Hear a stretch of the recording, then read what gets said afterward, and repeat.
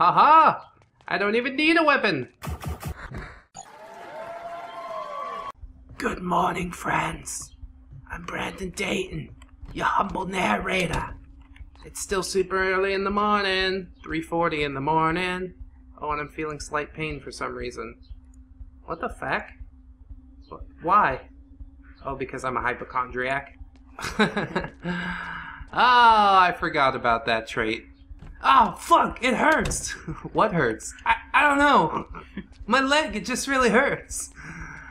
Ah, what the fuck ever, little Dayton. You don't know what you're talking about. I'm gonna try and find my way back home. And, uh, eventually I'll probably come to the mall again because we found out that we can do it and not die. At least that time, so... I'm willing to roll the dice again. It was a, a relatively fruitful venture, although I only got like mostly fishing traps and shit to make fishing traps and some more nails, but all of those are things that we need. We require all of these things. So, um, yeah, no problem there. There's there's a lot more at the mall, I'm sure, that we also require, but I just ain't got the room for it. I ain't got no room for it. I should have grabbed an axe, and then I could uh, make like a little hidey hovel near the mall, and just uh, as I pull shit out, I can stack it up inside the the hovel. But um, yeah, I, I was trying to cut down on space and didn't bring my axe, so we're not going to be chopping down any trees today. It is going to get worse over here, though. That is for sure. The zombies just doing their work. They're like, hey, we didn't get you this time, but next time, fucker. and I'm like, good luck, asshole. I don't want to hear about it. I don't want to hear about it. Should I level sneaking? That seems fun. Light-footed and nimble. But look at all this other shit. How did blunt accuracy hardly level? I killed so many zombies in there. Bro. Bro. Let me tell you. Oh well. It be what it be. We're on the on the road again. That's always nice. And uh, I'd like to tell you guys just a little story if you'd be privy to that because uh, that's the best thing on a long road trip. You get your story on. This is a story called Homeward. He stumbled. He knew the way, or at least he was reasonably sure he did, but he had a hard time staying on track. He fell. He decided to stay there for just a minute and catch his breath. When he got up, a moan escaped his lips. He didn't hurt exactly, but he was frustrated. He looked up at the afternoon sun and didn't remember it getting so late. Where did the time go? He just shrugged and walked it off. Home. That was his thought process. I have to get home. He'd been drunk before, of course. There were times when he couldn't remember events from a night of revelry, but he'd never had a substantial blackout before. For the life of him, he couldn't remember what had happened between doing shots at the bar and stumbling out now, at least 16 hours later. Was he asleep? Where were his friends? Why did he only have one shoe? he thought about asking the woman sitting in the park bench. Asking her what? He forgot. He was so confused, but he felt that he couldn't possibly still be drunk. My god, he thought, am I sick? The lady on the park bench was pretty, so he moved in her direction. She looked past him. He loomed over her, and she continued to ignore him. Hey, he tried to say, but his words came out in a gasp. Tongue tied, he just stood there trying to ask a simple question without appearing like a fool or a simpleton. He just needed to use her phone, if she had one. He grew nervous and agitated. It was like he was stuck in a dream, and he couldn't get the words out. All she did was dismissively grunt in his general direction. He knew when to take a hint, so he kept walking towards home. He wasn't tired, but annoyed and hungry. There was a shadowy spot underneath an old oak. He liked how the moss hung to give him shade. So he sat down, leaning against the trunk. He looked back towards the hotel but couldn't see it. Where were his friends? What happened to the bachelor party?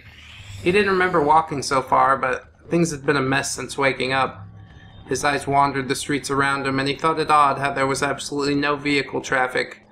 Cars had stopped in some places, and the roads were completely clear in others. Vaguely, he registered the sounds of alarms and horns blaring in the distance. He saw a lot of folks walking, not seemingly in a hurry, and completely unconcerned about the heat of the day. He drifted off, tired of thinking, tired of trying to remember and piece it all piecing it all together.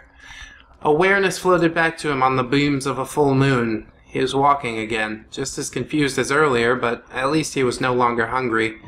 He found it odd that he was now barefoot, but he didn't dwell on it. He had to get home. He smiled as he remembered being this drunk once before. He was being led back to the hotel from a night on River Street by his less inebriated friends. He became obsessed with the fact that his wife was missing. Where did she go? Is she okay? he yelled, and he lit out to find her at a full trot. A Keystone Cops moment followed, wherein he ran circles around an old weathered brick building that housed a nice club, chased by four of his closest and dearest friends. And when he finally stopped running, because he found her safe and sound hugging a lamppost, the almost sober of the group ushered the concerned parties to the suite before the police could get involved. Lost in thought, he tripped over something on the shoulder of the interstate. Wait, the interstate? Headlights in the distance illuminated his path. He looked down at what nearly made him fall, and he couldn't tell for sure what it was, but it was slippery, and it smelled delicious. A food truck accident, he thought? He shambled towards the headlights, intending to wave them down for a ride. He reached out to them, waving his hands. The car swerved towards him and didn't slow down. Confusion turned to anger when a side mirror grazed his arm. He spun around and landed in a ditch. The car kept going red taillights in the distance weaving around other vehicles in the dark. Anger added itself to the perpetual confusion and frustration. He tried to get back up, but he found his left arm uncooperative.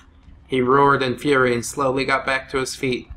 He looked down, and in the moonlight, his arm hung limply. It was twisted, and obviously broken. Wow, I must really be blitzed, he hazily thought. There was no pain, so he walked on. Slowly, the miles melted away as surely as his thoughts. Blackouts became more common. Words became disjointed images in his mind. And soon the only two things he knew were hunger and the need to go home. Time became a blur. Discomfort became a constant companion, and anger colored everything with a hazy white film. Days became nights, and strangers shambled beside him. He didn't speak. After it became obvious they would ignore him, he began to return the favor. He finally recognized the exit ramp for home. He left the pack of weary travelers that had both welcomed and spurned him, and he refused to rest until he could do so in his own bed. His wife and children should surely be worried sick, and the missus would probably be angry that he hadn't called. She never really wanted him to go off to Savannah with the boys for the bachelor party anyways. These thoughts seeped in and leaked out just as quickly, and it was hard to concentrate. He vaguely remembered being upset that she hadn't come looking for him, but these complex ideas too just became images. Home. Hunger. Eat when I get there. Rest when I get home. One foot in front of the other. Fall down. Get up. Keep going. Home. Hunger. Her. Love. Longing for her. Longing for home. Blackout. He couldn't get inside. The front door wouldn't open. He knocked with his good arm. He beat at the door with both arms in a slow motion frenzy as frustration mounted and became anger. Ever present under his roiling emotions, that hunger just kept gnawing at him. I'm home. Let me in, he thought. But the reality was that only a growl escaped his dried, cracked lips. He heard crying from inside. Something was wrong. The need to feed flailed, flared in a white-hot fury, and his anger peaked. He knocked louder, and he yelled for her to let him inside. His arms flailed against the doors, and his groans became a constant growl. Finally, the door opened, and there she was. He saw a flash of light, but he never realized that it was the flash of a muzzle. The sound of thunder that escaped into the pines and elms surrounding their secluded country house never reached his ears. He finally stopped walking, stopped moaning, stopped longing. There will be others. Close the door and let's get the barricade back in place before they get here. We need to bury him, Mama. He's been missing since this thing started. But now he's home and we need to take care of Dad. That's not your daddy anymore, baby. He died weeks ago. Under the cover of darkness, as quietly as they could, they laid him to rest ne next to the rest of the family members, each of them in a shallow makeshift cemetery that had been driven by longing and hunger, each of them that had been looking for a missing piece of themselves that could only be found back home. Ooh, he was a zombie the whole time. Bet you didn't see that one coming, huh? Okay, exertion's getting a little high. Let's uh, stop off for just a moment. See if I can work that off. I got a little confused going back until I saw that uh, split in the road and the bridge. I forgot that there was a, a river right next to the, the path to the mall. But since we've made the trip once, I assume that we can make it now as many times as we please. Uh, although it is obviously quite a trip to make. Um, here we go. Just fast forward, get that exertion off, so I can start my, my running again. You know, I'm quite a runner. I got a bunch of sprinting points. Look at that. Level 6 sprinting. That's me, bro. I'm just too fast for these zombies. I wish I could uh, level it up even quicker, but it is one of those skills that just takes a long fucking time to get there. 3000 XP, and then it's like, I guess you get 1 XP per kilometer, or like 2.6 per mile, or some shit like that. I don't know how the math works out. I've, I've completely forgotten.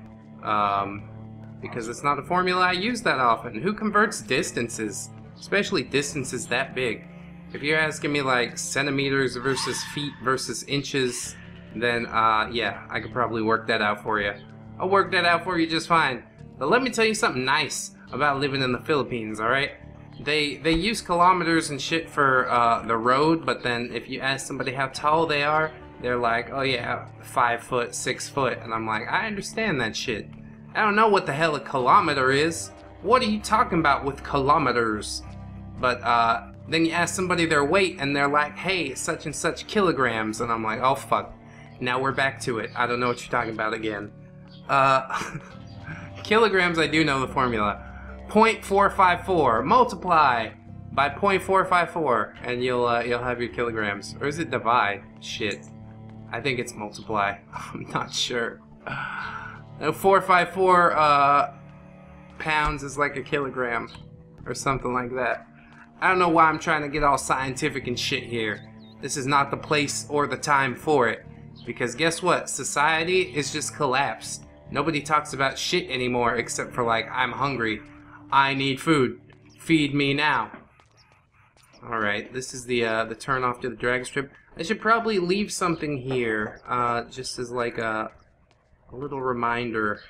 Little, little, hey, you should turn this way. But what to get rid of? I could drop one bandage. That's fine. There. So you know. So so if you go that way, it's like, hey, you might get hurt. This is the dangerous way to go. There's lots of fucking zombies in the mall. Yes, yes there is.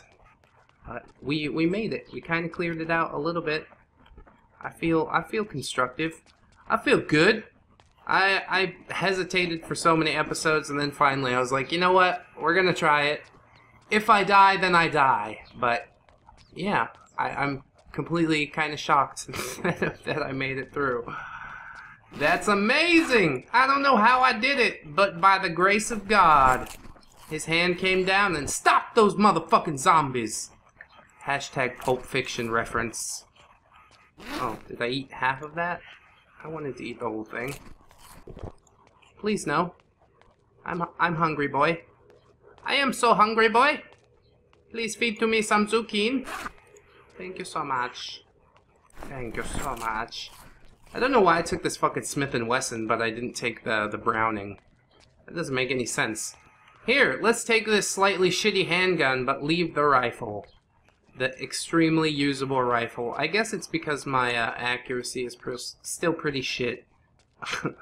I don't have much in the way of accuracy. Oh, look at that, foraging leveled.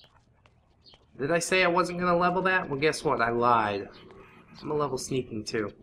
Because that came out pretty useful in the mall. But I want to keep one more skill point available so I can uh, bump carpentry when it comes to it, blunt accuracy when it comes to it. We're pretty close to another skill point, 95 experience, so things are going nice.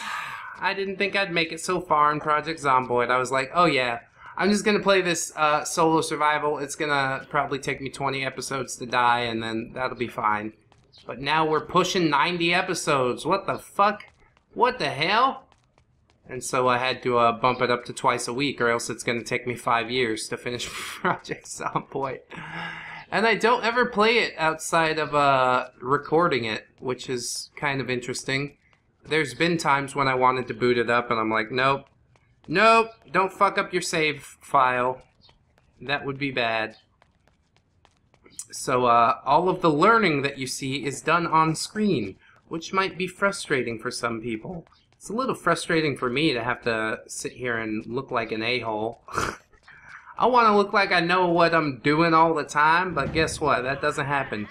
Not in Project Zomboid, not in real life. Especially not in real life. Oh my god. What a screw up I am here, huh? We are extremely drowsy now. I'm going to uh, hit the restaurant base once we get back into town. Hmm. Yep, yep. We're, we're just hanging in there. Just a little bit. Should I follow the railroad tracks? I can't remember. I'll see a flashlight, and then I'll be like, oh, that's my way home. That's my way home! Is it up here? Yes. Excellent! All my landmarks are working wonderfully! I should have started doing this a long, long time ago. But, uh, yeah. I didn't have the foresight. I wasn't so, so smart then. I'm getting a little smarter now, but still not smart enough to uh, qualify myself as an actual human being. You see, I'm a simple mongoloid with a baseball bat. But you need to be careful, boy, because that retard strength, let me tell you something about that. Mmm, I'll break down a door with one swing of this motherfucking baseball bat. That's why it only has one star on it. Because I, uh, I swing it so very hard. That's a good idea. I'm gonna drop this fucking thing. I don't need this. Oh. Do not drop all of that. I will be extremely mad at you. Drop just, just this one thing. Go ahead. And now we're running around unarmed. Haha! -ha! I don't even need a weapon! That's how good I am! I think this is a grocery store? No. Well, my base is around here. This is where I stole all those door for door doorknobs and shit from. Look how shitty this uh, fence looks compared to the ones I'm making now. My god. I could go through and upgrade it, which is a really nice thing. I was thinking I would have to knock down everything, but uh, tis not the case at all. So thank God for the foresight of the Project Zomboid developers. Let's uh, climb into my little hidey hole. Hello, house. I need a nap. Let's have a little nappy nap. Then I'll drop off my, uh, my fishing supplies. Holy shit. Hear that car outside? Let's get a barbed wire tattoo, bro. We're cool. I just watched the Fast and the Furious movies. Let me tell you. God damn. That's an old reference. Alright, climb through. Very nice. And I left this door open for some reason. Not good, Dayton. Not good. These are the uh, the nice fences. Bowls of gruel, if anybody would like that. Oh, it's rotten now. Shit. How did this happen? Oh yeah, I left it outside in the sun. But it's just a combination of uh, water and flour, so I don't think it would really get rotten. It would just dry up and be nothing. Ants would come and take it away. Oh my god, I bet there's so many ants and insects and mice and shit this world's being taken back by the animals. That's fucked up, bro. I would fight that guy, but I don't have a fucking weapon. I should have grabbed one from the base. Oh well. I keep this place relatively clean. Because this is my neck of the woods, son. Nobody's coming this way, kid. And if they do, I'm gonna brain them, dude.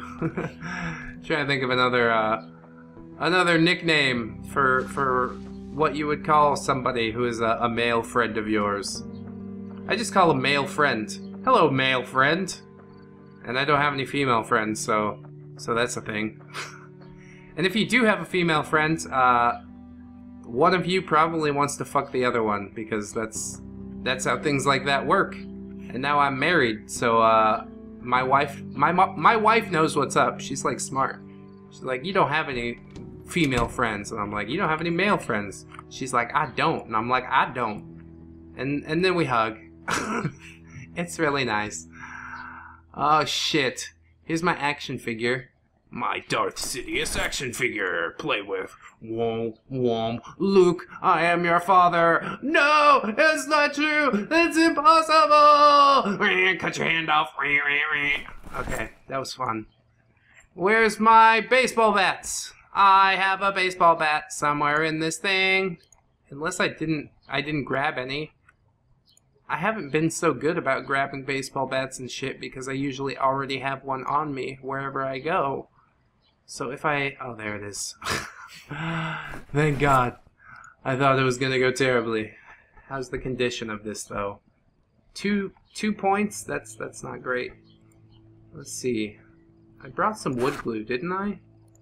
Did I not take any wood glue? Dayton, Dayton, you're fucking up, kid. You are fucking up. Alright, that's fine. I have a bunch of wood glue here. That's why I didn't grab any. So here, Get some wood glue on it. Boom! Now it's up to four stars. What do you think of that, sucker? Um, I'll put my wood glues away. Alright, so where would I store the fishing traps? Firstly, firstly, first things first, uh, I should probably place some fishing traps in the water for the ones that I've broken, which it seems not so many are broken. Well, if I check the traps, then then we'll probably get a couple of broken ones. That's just how things like this work. Check this one. Check this one. Check that one. Hmm. Lots of little bait fish. Oh, broke it. I broke it. You see that? I need, uh, one more. Unpack. Unpack them all? Sure, whatever. Do what you want, okay? I'm not in control here. I'm just sitting in a chair while I watch this character do things. Check trap. Mm. Ooh, six fish in there. That's nice. That's nice. We've been catching them all day, kid. There's only one in there. That's not not good. I don't like that. And I kind of lose track of uh, which ones I've checked so far, so if I skipped one and you're screaming at the screen, then I apologize for that. I think I think I'm doing okay with this so far. I'm pretty sure. Wow, I can check the trap from all the way over here. I'm like Stretch Armstrong or some shit. I don't want to place all of my uh, fishing nets though. I'll leave the broken one. No, recycle the broken one. And get my wire back. Give me my fucking wire back. Yeah. Alright. Should make some shelves for the, the lower part, but I know they just end up getting fucked up like everything else here.